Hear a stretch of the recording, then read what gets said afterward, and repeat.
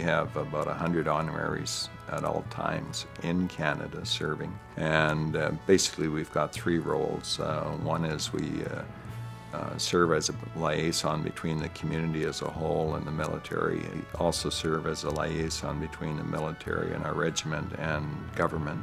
And the last role, which is probably the most important, and certainly was the most important when I joined, uh, which was during the Afghanistan tour, and that is to uh, help families uh, of fallen soldiers or families of injured soldiers. And Canada has uh, worldwide history of being leaders in peacekeeping and leaders in uh, defending human rights, uh, all of these things, and you see all of that through a military experience. Uh, it's very eye-opening.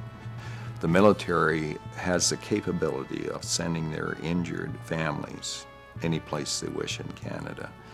And uh, we have military families that have been treated here in Edmonton uh, from every province in Canada. And my question was, where did these people stay when they're here? And uh, the answer was the military is very good. They'll allow them to stay in motels or hotels nearby, etc. And because uh, Doreen and I were involved earlier with uh, Compassion House and help raise money for Ronald McDonald House, etc., we said, why wouldn't we build a home for the families um, that are here while their members are being treated?